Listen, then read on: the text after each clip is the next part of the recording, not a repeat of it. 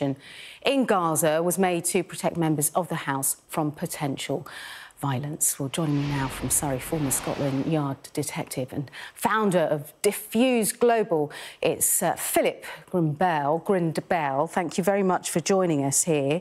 Um, First of all, can we just explore what security is available for MPs in this country? Because we certainly don't see the same kind of security, say, for American politicians. No, good afternoon. And there's a good reason for that because the level of threat and the type of threat is very different.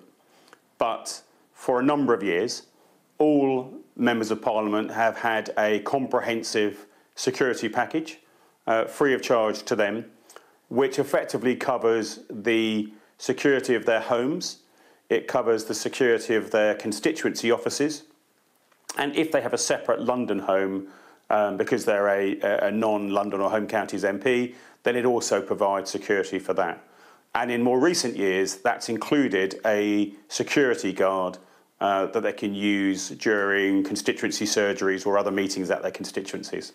Yeah, it's really interesting, is it, Mr Grindell? What did you think of Sir Lindsay Hoyle's comments earlier this week? He was moved to tears with his statement that he said. He said he never wants to go through a situation where he picks up a phone and finds a friend, another MP, um, from whichever side has been murdered by a terrorist. The threat to MPs is unprecedented now. What would you say is influencing this? Well, I'm not sure that the threat is unprecedented. I think there's a pattern here in that when certainly when I was there in Parliament, we had to work really hard with senior political figures to um, get them to drum down the rhetoric and stop spreading fear. Because when we look at the actual threat, certainly when we did the threat assessment during the heat and toxicity of the Brexit period, actually the threat assessment came down as low. And that needs to be taken into context because when we talk about threat, we're talking about the intent of people who are looking to attack and the, their capabilities.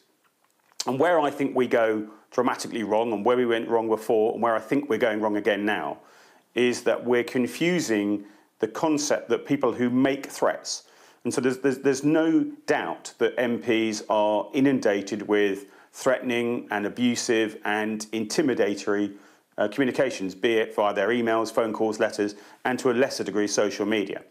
But what we need to understand is whilst that makes them very anxious and it causes fear, those people are not the people that will actually attack. And we can prove that.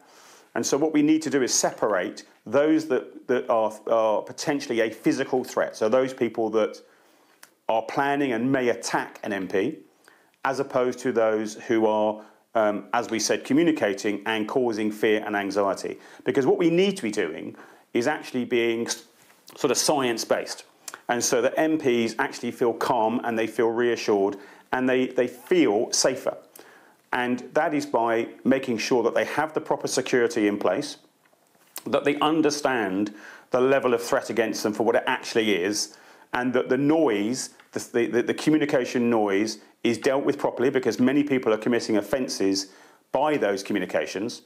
But actually, we need to make sure that they understand that those are not the people that are going to attack. When we've looked at all the attacks, and this is based on research that the US Secret Service did, and the author of that research is the person that shared this with me and taught me, taught me it. In 50 years of US Secret Service research, they found that at no time had the person who'd been attacked been previously threatened by that person.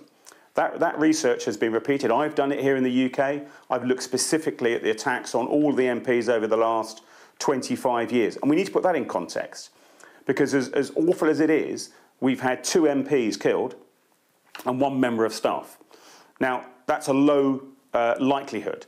So, but in all those cases, not once has the person that attacked actually communicated or being threatening to the person that they fundamentally attacked and attacked. So we need to be really clear about that because I think what's happening is we're conflating the volume of abuse and nastiness, if you like, with an actual physical threat, and they're not the same thing.